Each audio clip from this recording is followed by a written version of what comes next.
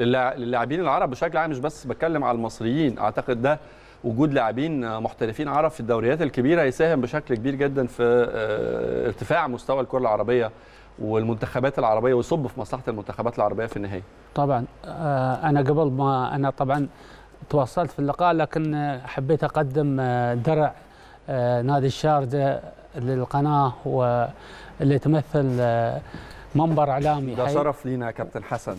و- ده الدرع ده لقناة النادي الأهلي؟ طبعا لقناة الأهلي وإن شاء الله آه، الأهلي والشارقه فريق واحد. طبعا. وإن شاء الله يعني آه، تكون لقاءات كثيرة. نتمنى ده نتمنى ده.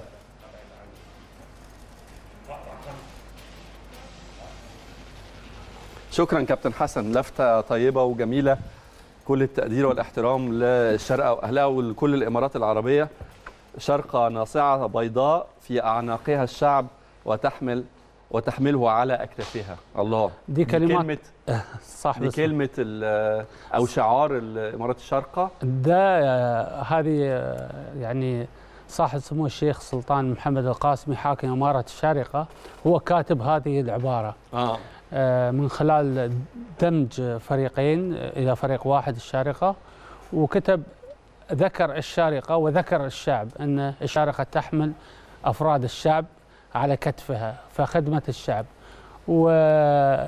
وكلمة اتخذت شعار لل- للنادي والحمد لله نادي الشارقة اليوم هو متصدر الدوري والسنة الماضية كان بطل الدوري.